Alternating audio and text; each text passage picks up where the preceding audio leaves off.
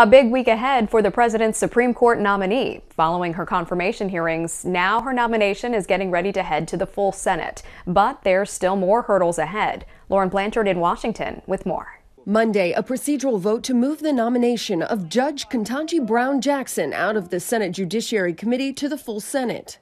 I will proudly and confidently vote aye to advance her historic nomination to the uh, U.S. Senate. I think she and I have fundamental different views on the role of judges and the role that they should play in our system of government. Because of those disagreements, I can't support her nomination. Democrats will still get the nomination to the Senate through a separate vote, but without a recommendation from the Judiciary Committee. What I know is she will get enough votes to get confirmed.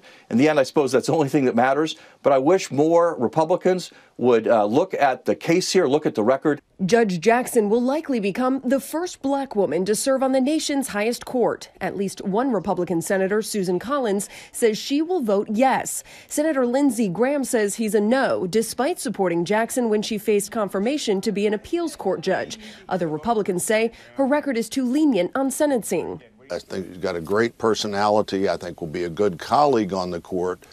But the judicial philosophy seems to be uh, not the philosophy of looking at what the law says and the Constitution says and applying that.